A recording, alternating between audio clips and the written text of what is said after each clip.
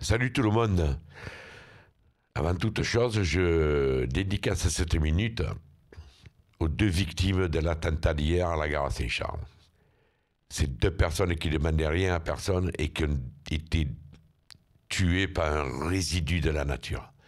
Voilà, je leur dédicace cette minute. Ça les fera pas revenir, mais on a une grosse pensée pour eux. On va revenir sur ce match. Hier, ça a été une journée particulière. J'étais invité par Pernod 51 dans les loges de, de Nice. Je suis parti avec mon pote Fred et Sébastien. On est parti à moins le quart, à 18h10, bloqué sur l'autoroute, jusqu'à 20h40. On devenait fou. On a écouté le début du match dans la voiture, et un but, et deux buts. On devenait fou. On a dit, mais c'est pas possible, on s'est pris une putain de rouste. Vie retourne, on est rentré dans le stade.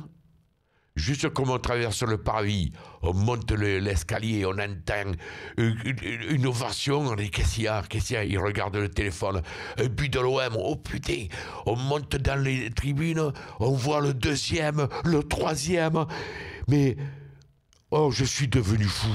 La mi-temps, la deuxième, ce, match extraordinaire en deuxième mi-temps de l'Olympique de Marseille, je me disais, mais comme ils ont fait pour se prendre deux buts en deuxième mi-temps, en première mi-temps, jouant comme ça.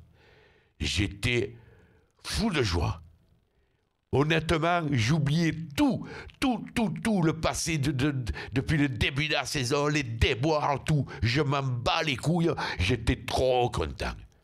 J'ai vécu une soirée finalement pleine de chamboulements, mais extraordinaire. 4 à 2 contre Nice. Je l'avoue franchement, j'ai rien contre quelques clubs que ce soit de la Ligue 1, je ne suis pas un anti-ci, un anti-là, non. Mais une victoire 4 à 2 contre Nice chez eux, ça a une autre saveur que si on avait battu Amiens, Rennes, euh, Metz. Ça a une autre saveur. Nice, battre Nice 4 à 2 chez eux, qui l'aurait pensé il y a une semaine? On nous promettait les flammes de l'enfer, on nous promettait une roustasse, on nous promettait pire que panne. Eh bien, on a gagné 4 à 2. Bravo les joueurs. Bravo Garcia. Vous voyez comment je suis, moi? Autant je les vilipendé, Garcia. Autant même les joueurs, je les ai envoyés chier. Autant aujourd'hui, respect, les gars. Toi, Garcia, tu as compris quand même que ton 4-3-3 merdique avec les joueurs que tu avais, ça ne pouvait pas le faire. Ça fait deux matchs que tu as changé, deux que tout va bien.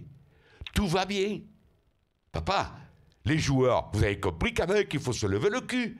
Hier, je vous ai trouvé extraordinaire en deuxième mi-temps. Ça défendait, bec et ongle, les Niçois époussés. Vous étiez là, la tête, le pied, euh, n'importe quoi. Mais vous avez défendu. Et puis alors, excusez-moi, mais un mandanda de gala.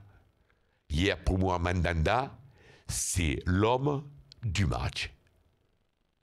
Voilà. Et je fais un petit mea culpa. Je n'étais pas trop pour son retour. J'étais pas pour son retour, tout le monde le sait. J'aurais préféré prendre un jeune. Mais hier, Mandanda, tu me l'as fait fermer. Voilà. Il y en a moins un qui a réussi à me la faire fermer, c'est toi hier. Tu as été phénoménal. Tu as été el phénoméno sortir un penalty après que je lis ce matin dans les journaux ou sur les réseaux sociaux. Ouais, mais il y a tiré dessus. Il y a tiré dessus. Mais vous savez ce que c'est d'être gardien de but Tire dessus, pas tire dessus. D'abord, il a pas, on lui a pas tiré dessus. Il est allé me le sortir. Il m'a fait ses claquettes. Il a plongé. Il, bougeait sa défense. Il a plongé. Allez, putain, Mandanda, es l'homme du match. Il y en a qui disent que c'est Ocampos. Je ne dis pas qu'Ocampos ne mérite pas. Mais pour moi, es l'homme du match, Mandanda. Et j'espère, comme j'ai eu mon, mon pote Michel Aliaga ce matin, il me dit, Néné, cette victoire va changer beaucoup de choses. Et je le crois aussi. Que ce soit dans la confiance, dans, dans la confiance sur leur capacité quand ils veulent. La confiance, le, moral. Garcia aussi, pour lui, enfin, tu as compris. Je, suis content parce que c'est pas tout de gueuler tout le temps. Il y en a, ils seront anti-Garcia jusqu'à la fin de la saison, quoi qu'il arrive. Ben moi, non. Moi, quand le mec il fait bien le taf, quand je vois qu'il change d'idée, qu'il replace tout le monde, qu'il est boum, eh ben bravo. Bravo. On est troisième, les gars. Oh, mais on est sur le podium. Mais qui l'aurait imaginé ça il y a dix jours? Alors voilà, on va pas s'éterniser sur ce match. Je suis tellement heureux ce matin. Hier soir, le retour a été tellement joyeux que je veux garder ce match comme un match vraiment référence. Je crois que c'est la plus belle deuxième, la deuxième mi-temps, ça a été la plus belle mi-temps depuis le début de la saison. Le petit hic, c'est l'expulsion de Gustavo. Contre Paris, Gustavo va nous manquer cruellement. Il va nous manquer cruellement.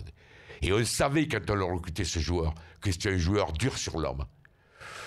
Et moi, j'ai dit, putain, il méritait pas trop le carton rouge, un carton jaune, d'accord. Et les mecs, ils m'ont dit, ouais, mais Néné, tu n'étais pas là la première mi-temps. Il a fait certains trucs, il aurait mérité le jaune. Je crois que le, carton rouge, il a pour l'ensemble de son œuvre sur tout le match. Mais non si en début, en, première mi-temps, il méritait un jaune, file-lui un jaune. Ça l'aurait peut-être calmé, il n'aurait pas pris de seconde.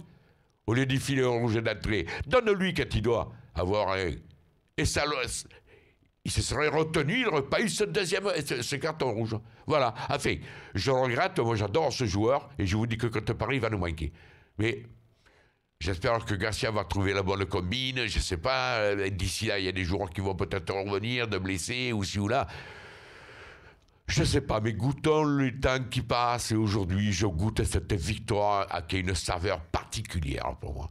4 à 2 contre Nice, je vous dis merci les gars continuez comme ça, vous êtes sur la bonne voie. Ciao.